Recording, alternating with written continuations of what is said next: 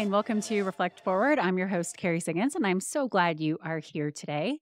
Today, we are going to talk about why leaders shouldn't take things personally. This just came up recently with my 10 year old son, Jack. He and I were talking about an incident that happened at school where he was all worked up about something somebody said to him, and he was quite upset about it and taking it really personally. And after listening to him tell me his story, I said, why do you take what that person said so personally? Does it really matter? There's a little bit of truth to it anyway. Maybe you should look at it as feedback. And he paused. Rather than answering my question, he said, why don't you ever seem bothered by what people say or do, mom? The question caught me off guard. I wasn't expecting it, but it made me reflect deeply. What Jack unwittingly touched upon is a crucial trait that every leader should cultivate the ability to not take things personally, the ability to let things slide off their back, the ability to not get taken down by negative comments or negative opinions. And so that's what I want to talk about today because it's a really powerful thing when you don't take things personally. It makes you so much happier in life. It allows you to take feedback well. It allows you to see things clearly, and it's just a better way to live. So, let's jump into why it's so important to let things slide off your back as a leader. So, the first one is fostering objectivity. Our role as leaders is to make good decisions based on facts and logic and the best information that we have at the time. And we do this in the best interest for the overall organization. When you take things personally as a leader or don't let things slide off your back, you can have an emotional reaction, which could cloud your judgment. And that would then lead to choices being based on maybe your ego rather than what's best for the team. This is a really important leadership trait because you want to foster objectivity as a leader. And when you do take things personally, you do let your ego get in the way. And it's much harder to make a fact based decision when you're going, oh, I'm going to do this because, you know, so and so said this, or I'm going to prove somebody wrong, or whatever it is. So you want to make sure that you are fostering that objectivity. So the next one is maintaining credibility. Leaders who react emotionally to every critique or every slight can appear insecure or even unstable. We are supposed to be tough. We're supposed to be able to hear the hard things. We're supposed to be able to set our egos aside for the best interest of the organization. But if we get upset every time we get tough feedback or we hear something that we don't like, we can shut things down and uh, we can lose our credibility as a leader. So, as you know, my mantra is cool, calm, and collected. And this really comes from not taking things personally. When you maintain a calm demeanor in the face of criticism, it helps to establish and retain credibility as being a strong leader who has fortitude to get through anything. Third, it builds a positive culture. If a leader takes every little thing to heart and wears their heart on their sleeve, it can create a tense environment where people are afraid to speak up, where they don't want to share their concerns because a leader is going to get upset. So, if you can handle feedback without taking it personally, you will encourage dialogue and trust and make it safe to have a culture of feedback, which is really important if you want to build a dynamic, growing, healthy company, which all leaders should hopefully want to do. Fourth, it helps you preserve energy for what matters most. Leadership is so demanding. It is soul sucking at times, right? How much you have to give yourself to put into being a good leader. And when you get bogged down by every negative comment or action, it can really drain your reserves. So you want to make sure that you have the energy to tackle the tasks that are at hand, the challenges that truly need attention, but if you're so worried about taking things personally about what somebody said or what somebody did, that takes away your ability to put your full energy and resources into what matters most. Fifth, it also models resiliency for the team. We set the tone for the team. And if you want people to be able to accept your feedback, to hear tough things that they might not want to hear, you need to be able to do the same. You need to show what it's like to be resilient. And by demonstrating this resilience and having this little bit of a thicker skin, leaders can inspire their teams to be more resilient, right? The fact that I don't take things personally definitely makes it easier for my team to not take things personally because you know what? There's some truth to that. Let's just dive in and fix it or address it or clear up miscommunication or lack of clarity and move on. But if I set the tone by taking things personally and getting upset really easily, then it makes it easy for my team to do the same. And that is not what we want. So you really want to model what resilience looks like. And then finally, this is what I think is most important it makes you happier when you let things go. I find that not taking things personally or being bothered by negative opinions of me makes me so much happier. When you look at feedback as a way to grow and be grateful for it, it's easy to not take it personally. Or you can say, hey, thanks. You know, that might sting a little bit, but I really appreciate you having the courage to tell me and then go work on it, right? Feedback is a gift if you don't take it personally. Additionally, I've also learned that some people are just not going to like me. Not everybody agrees with the way that I run the company. Not everybody agrees with the things that I say, my belief system, my value systems, and that's okay. It has taken years to be okay with that, right? As I've matured as a leader, and I talk about this in my book, The Ownership Mindset, but it's okay that everybody doesn't like you. In fact, if you try to make everybody like you, then you are going to probably lose respect because it will make it more difficult for you to make the tough decisions. So if someone has a negative opinion of you or says negative things about you, let it go, right? Let it go. I have learned that when I take it personally, when someone doesn't like me or says crappy things about me, I give away my power and I refuse to give away my power. And you should refuse to give away your power too. If someone doesn't like you, let it go. You will be so much happier when you just let it roll off your back and move on. This helps in life and in leadership. Now, this is all easier said than done, right? It takes practice not taking things personally. Many, many, many years ago, I absolutely did not have the same level of resiliency that I have now. And as you grow and mature as a leader, as you deal with hard things, you realize that it's okay and you will become more resilient and things will slide off your back a little bit easier. But I do have some tips for you on how to not take things personally when you are in the moment and you are practicing resiliency.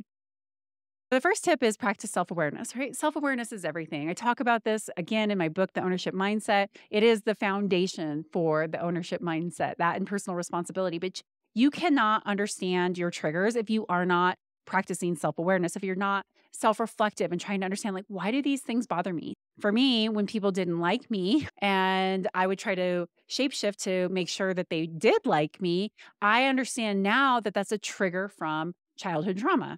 And understanding that gives me power to say, that doesn't matter. I'm not that little five year old girl anymore. I'm not that 16 year old girl anymore, right? I know that my self worth is not based on people liking me.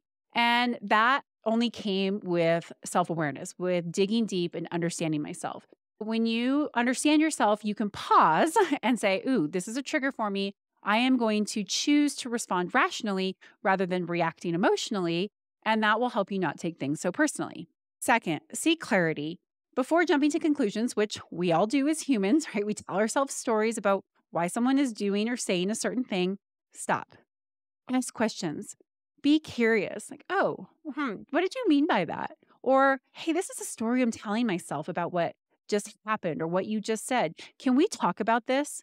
When you seek to understand the context and the intention behind feedback or actions or situation, you will learn that one, maybe you shouldn't be taking it so personally, or two, maybe you'll have a deeper understanding on some things that you can do to change, or maybe you'll gain deeper insight on something that you did to create that situation. And that is powerful information. It allows you to be able to say, Ooh, I'm not going to do that anymore. So seek clarity, seek to understand.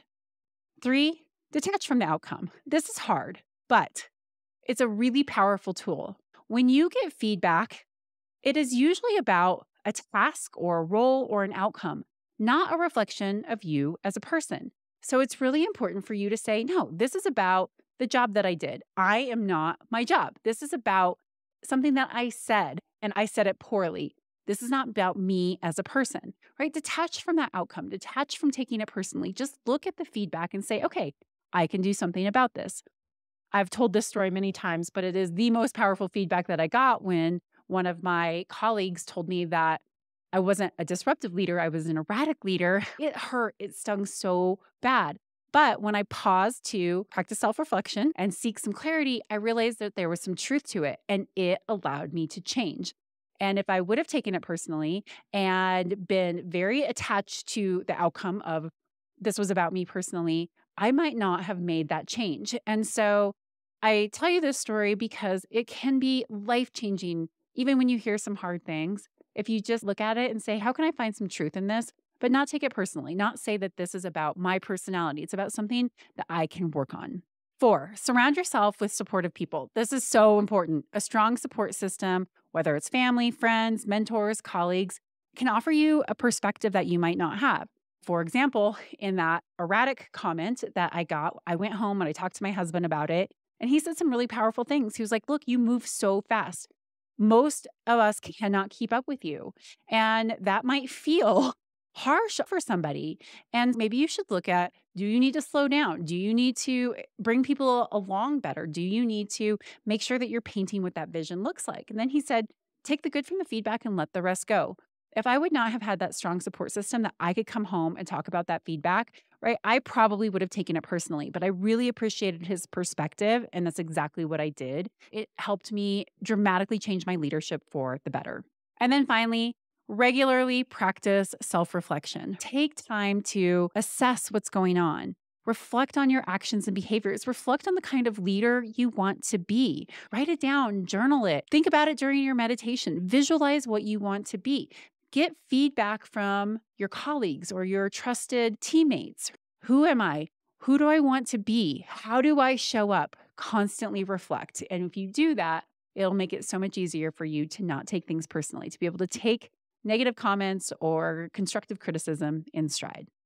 Okay, before we move on to the question of the week, I do want to give one counterpoint to all of this because a lot of times people will choose to say, Nope, I'm not taking anything personally. I'm not taking any feedback. I'm not interested in what anybody has to say. I'm doing me. and while I think it's really important to be yourself and to show up authentically, that does not mean that you should not listen and you should not take feedback.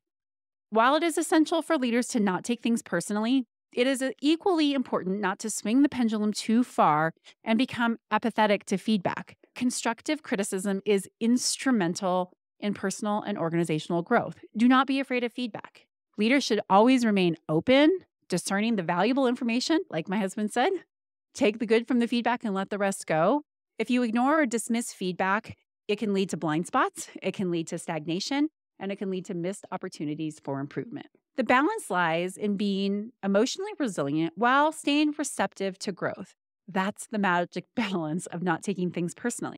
And this is what I tried to explain to Jack. This whole idea of resilience and balance of being able to say, nope, I'm not going to take things personally, but I'm going to learn from it. I'm not sure he fully understood what I was saying. I mean, he is 10 years old after all, but a really remarkable 10 year old, I have to say. But then again, maybe he did because he replied with this Well, mom, you do seem a lot happier than most of the other grown ups I know. I like being happy. And then he has to go play Fortnite video games. I realize that this is not just a lesson for leaders, but for all of us. We all need to learn how to navigate the challenges of life with resilience, with a growth mindset, and with letting things slide off of our back. Okay, on to my question of the week. It is time to answer the what are you reading now question. A good friend of mine who I just saw in San Antonio at a YPO event said, What are you reading, Kerry? And I said, Shoe Dog by Phil Knight. Oh my gosh, I love this story. Why? Shoe Dog is more than just a memoir chronicling the ascent of Nike. It's a vivid portrayal of passion and grit and ingenuity based behind its founder, Phil Knight. Knight's transformation of selling shoes literally from his car to spearheading one of the most iconic brands of our times is a powerful testament to the tenacity and vision that we need as leaders. And knowing that sometimes just the smallest idea, a sprout of an idea, can turn into something absolutely epic. I love how he tells his stories of going through all of the ups and downs from financial hurdles to legal confrontations the book just offers valuable insights for any leader who is navigating obstacles, which let's face it, pretty much all of us are. I love how he talks about his board of directors as the butt faces. They don't take themselves too seriously, and how they played such a critical role in the brand's evolution and garnering worldwide respect, even though They were a pretty gnarly bunch of guys helping him build the company. Overall, it is a fantastic story that balances this whole idea of data driven strategy with gut driven decision making and intuition. I love it. It's so good. And the other thing that I really like about it is that Phil is really candid about his fears, his doubts, and his blunders that he made. He was a really terrible manager in the early days. And I really appreciate the vulnerability that he shares in the book. So that's why I think that Shoe Dog is a book that all of us should read. It's really, really, really good. I hope that that inspires you to pick it up. I actually have read it and now I'm listening to it on the audiobook. It's that good. And the audiobook is great as well. It does give more of the inflection of the story, even though Phil does not read it. All right, with that, I will leave you for your day. I hope you enjoyed this podcast. If you like it, please write a review, share it with a friend, subscribe to it. It helps with the algorithms, and I appreciate the support getting the word out. And don't forget to pick up a copy of The Ownership Mindset, my book. It has been a hit so far. I've gotten wonderful feedback on it and some maybe not so great feedback. Like I said, not everybody likes it. So I'm practicing my not taking things personally. it's really, really good. I love the growth that comes from doing something really hard, like writing a book and putting it out there for everybody to read and tell you what they think of it. It's such a growth opportunity, and I'm loving every second of it. All right, with that, I'll see you next week.